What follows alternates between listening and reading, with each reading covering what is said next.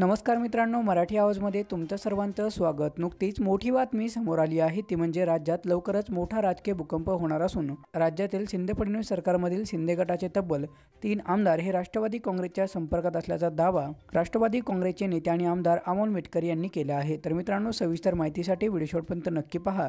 Video आवडल्यास like करायला मात्र अजिबात विसरू नका. दरम्यान पुण्यामध्ये प्रसारमाध्यमांशी बोलत असताना राष्ट्रवादी काँग्रेसचे विधान परिषदेचे आमदार अमोल मिटकरी यांनी हा गोप्यस्फोट केला आहे.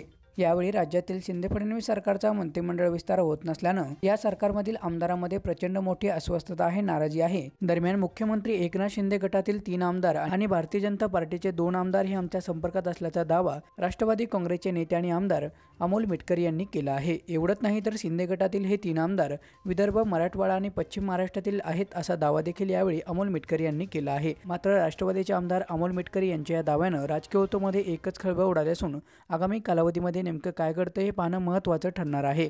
दरम्यान आपल्या आमदारांवरती विश्वास नसल्यामुळेच मुख्यमंत्री एकनाथ शिंदे आणि उपमुख्यमंत्री देवेंद्र फडणवीस यांच्याकडून अद्यापही मंत्रिमंडळ विस्तार करण्यात आला नाही. खरं तर ज्या दिवशी मंत्रिमंडळाचा विस्तार होईल त्याच दिवशी हे शिंदे फडणवीस सरकार कोसळेल असा दावा देखील यावेळी आमदार अमोल मेटकरी यांनी केला आहे. दरम्यान शिंदे गटातील तीन आमदार हे विदर्भ मराठवाडा आणि पश्चिम महाराष्ट्रातील असून ते राष्ट्रवादी काँग्रेसचे प्रदेशाध्यक्ष. जयंत पाटील यांच्या सातत्यानं संपर्कात आहे याशिवाय भाजपचे देखील काही आमदार राष्ट्रवादीच्या संपर्कात आहेत असा दावा यावेळी राष्ट्रवादीचे आमदार अमोल मेटकर यांनी केला आहे.